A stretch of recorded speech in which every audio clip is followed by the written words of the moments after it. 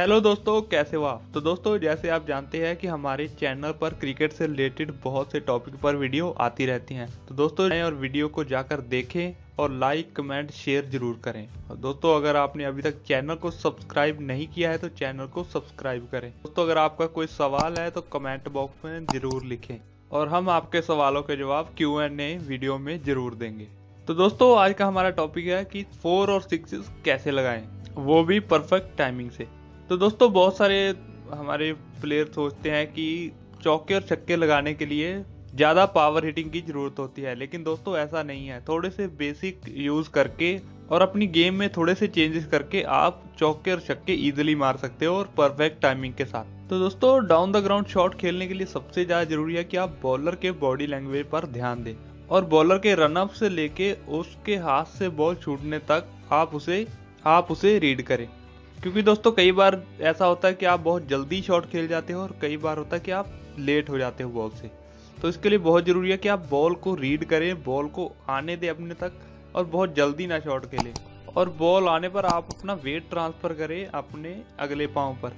तो दोस्तों wait transfer करने से होगा क्या? इससे होगा कि आपका वेट नेचुरली आगे जाएगा और आपको एक और आपके शॉट में एक पावर आएगी। और दोस्तों, चौके छक्के लगाने के लिए एक बहुत ज़्यादा ज़रूरी है कि बॉल आपके बैट के मिडल पे लगे। और मिडल पर कैसे लगेगी? कि आप प्रैक्टिस कैसे करोगे? दोस्तों, इसके लिए बहुत ही एक यूज़फुल ट्रिक है जो आप कर सकते हो। तो दोस्तों यूज़फुल ट्रिक ये है कि आप एक टेनिस बॉल और स्टंप से प्रैक्टिस करें। और एक सर्वर को बोले कि वो बॉल कराए और आप स्टंप से उस बॉल को खेलने की कोशिश करें। अगर स्टंप के मिडल पे लग रही है बॉल तो आप बल्ले से भी इजीली उस बॉल को मार सकते हो। और दोस्तों बाउंड्री लगाने के लिए ज़रूरी है कि आपकी रिस्ट मज़बूत होनी चाहिए।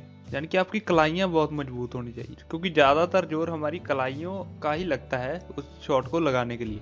तो दोस्तों आप ऐसी एक्सरसाइज करें जिससे कि आपकी रिस्ट मज़बूत हो। तो दोस्तों अगर आपने पावर हिटिंग करनी है और चौके छक्के लगाने हैं तो आपके पास बैट भी बढ़िया क्वालिटी का होना चाहिए, जिसमें कि सात आठ ग्रेन हो। होगा कि आपके पास बैट ही अच्छी क्वालिटी का नहीं है और आप बॉल को भी मिडल कर रहे हो, फिर भी बाउंड्री तक नहीं जा रही है तो आप बैट भी अच्छी क्वालिटी का ले। तो दोस्तों चौके छक्के लगाने के लिए ये ज़रूरी है कि जब आप चौका लगा रहे हो तो आपको बॉल के ऊपर होना चाहिए और अगर आप सिक्स लगा रहे हो तो आपका बल्ला बॉल के नीचे होना चाहिए।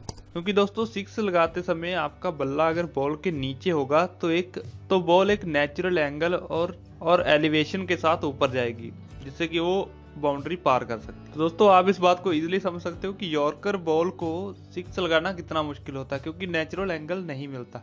वहीं शॉर्ट बॉल को सिक्स लगा सकते हैं, क्योंकि वहाँ वहाँ पे एंगल होता है सिक्स मारने के लिए। तो दोस्तों, चौके छक्के लगाने के लिए ज़रूरी है कि आपकी अपर बॉडी थोड़ी सी स्ट्रांग हो। इसके लिए आप तो दोस्तों, इसके लिए आप खाने में प्रोटीन ज़्यादा ले। तो दोस्तों, मैं ये नहीं कहता कि आप जिम ज्वाइन करें, लेकिन आप घर पे भी थोड़े आप पुशअप मार के आप अपनी बॉडी को अपर बॉडी को स्ट्रॉन्ग कर सकते हैं। तो दोस्तों, ये थे कुछ ज़रूरी टिप्स बाउंड्रीज लगाने के। तो दोस्तों, आपको हमारी वीडियो कैसी लगी, हमें कमेंट में ज़रूर बताएँ। दोस्तों, अगर अभी तक आपने चैनल को सब्सक्राइब नहीं किया है तो चैनल को ज़रूर सब्सक्राइब कर लें और साथ में बेल आइकॉन दबा दें, ताकि आपको हमारी हर नई वीडियो की जानकारी सबसे पहले मिल जाए। धन्यवाद।